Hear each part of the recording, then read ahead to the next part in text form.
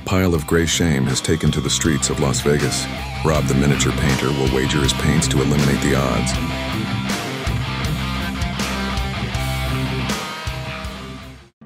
Hey folks, it's Rob the Miniature Painter here, and we're back, but actually we're starting with Army of the Dead, the Zombicide game, and we're actually painting the Abomination Zeus that we gave a matte black prime to, and then after that we did a um, Hobgoblin Hue Zenithal highlight on both of them. So it's not necessarily a white Zenithal, but it is a lightish beigeish color, and we're going to be using Army Painter speed paints to get through these two models quickly. Well, What's funny is in the game, there's actually three cards for this abomination. There's the mounted version, the regular version, and a masked version. However, they only give you two models.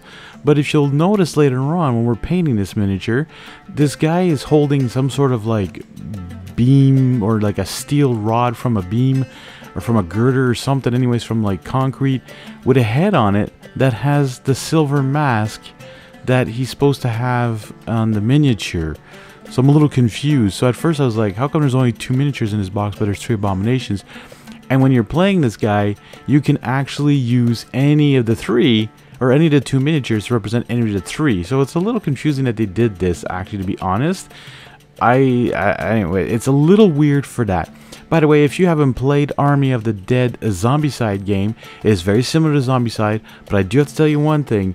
It is a little bit trickier when it comes to opening the vaults or uh, dealing with spawning. I'm still not sure if we got the basics right because you have a bunch of sleeper zombies in every room pretty much and they get woken up with certain actions or if you walk into the room and there's some in there you can deal with the token as for using it when using an action but it's a little confusing a bit and their deck of uh, spawn cards is tiny so I'm assuming that it's not often that you spawn zombies in this thing and there's no fatties or brutes or anything like that. It's just walkers, or even I don't even remember what they're called. I think they're called sentinels or something like that, and alphas.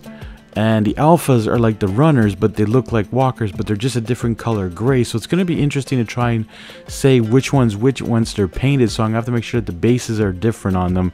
But anyways, I wanted to start off with Zeus here just because it's a fun model to paint, or two models to paint. As you see, I've been using speed paint the whole time here. And sorry I haven't been talking about the exact paints, I've been talking about the game, which is sometimes a little bit more fun than to hear me just say, I painted this part with this color.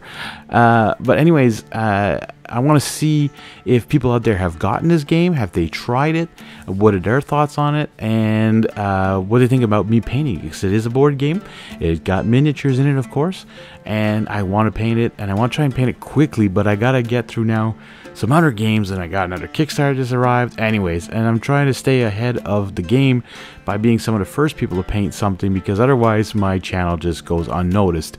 Uh, I know I again I will say it I am no master painter. I have learned a lot. I find my miniatures look amazing and I hope they do for you as well. And I hope that if you follow my guides they give you hope into being able to start painting even to get into the, this hobby of painting miniatures because I make it easy. I don't go crazy into details. Yes, some of my videos I've done war paints fanatics. I've done some airbrushing, but that doesn't stop you from using regular speed paints or trying to follow along with colors or schemes that I'm doing or testing with zenithals or testing with uh, different kinds of slap chopping or dry brushing and so on and so forth. So keep an open mind when you watch my videos that the point is to learn how to paint easily and get them nicely done for the table and impress your friends. My friends are super impressed with my games now that they, they, they we played this and they're like, wow, like the, the, the painting job is amazing. It makes the game look more vibrant, more alive. And anyway, so one thing I want to do with these ones is do bases that look fluorescent a bit uh, because it is in Las Vegas it is very neon and stuff so I'm trying I'm gonna be trying different things on bases. Not necessarily showing them on here but in the pictures you might see them this one I used a uh, color changing uh, I don't remember the name of the color. I think it's green stuff world or something like that. They're color changing metallics. And when you brush it on it's not great. So but if you want the great effect, you have to use it through an airbrush. And anyways, but it does a good job on the base for it, and it looks kind of cool in the light. It shimmers a bit, kind of looks got that Vegas look to it. Anyways, I hope you've been following along here, which colors I've been using. I know I've been rambling on about other stuff, but hey, uh, like you can see here, uh, this is an undead horse or a zombie horse. It's pretty cool. I use a bunch of colors to bring out that those muscle. Well, one color bring out the muscle. Uh, now, on the artwork, and I try and when it comes to game board games, I try and follow the artwork as much as possible. Instead of when I'm working on Army, I try and do my own scheme to it. Uh, oh, guess what? Bony matters, folks. Bony matter, but it's not for skin. Well, it is on the head here. That's on that stake, uh, but it's for pants, uh, and it gives it a beigeish brownish look. Uh, really cool. If you ever try Bony Matter for pants, I suggest you do. Especially with the Zenithal highlight, it really does a good job. Uh, now, what was I saying before? Yeah, the, the zombie horse in the artwork seems to have bones protruding at certain spots, but in the on the model, you can't tell where that is. So when I come to paint uh, the skin after, uh, on the horse, I was having a hard time saying, well, should I leave this part here bony-ish or not. So I just went with the one color and so on and so forth. Now it's funny I'm painting with Aged Hide here for his cape um, on both the models here. Uh, someone was talking about it in one of the comments saying they used this for the mouth and the tongue of a lot of miniatures if the mouth is open and all of that. And I can see that. That is actually a good idea. Uh, I like that because it's kind of like darkish reddish pink to it. Like it's, it's it's it's got the coloration of an inside of a mouth or a tongue. So I will definitely have to try that on next time I find a model has a really wide open mouth and use this on the inside. So again, thank you for that comment. I love hearing your comments on techniques or things you use colors on. Uh, I love to see this. And by the way, I haven't done a Will It Zombie video and I'm thinking of using the zombies from this game to actually get into a Will It Zombie video and using different kind of speed paints, different kind of undercoating to get a different result for the zombies, especially for the fact, like I said, there's only, I think, oh, they're shamblers. Are they shamblers? I think it might be shamblers and alphas. I can't remember. Geez, I wish I had a better memory. Uh, I wish I hadn't smashed my head a couple times, a few times either to not cause me to forget half the stuff I'm trying to say. Anyways, uh, but the warrior skin, this is what I'm using there on all the skin of the horse. I found it came out perfectly for that brownish horse looking color.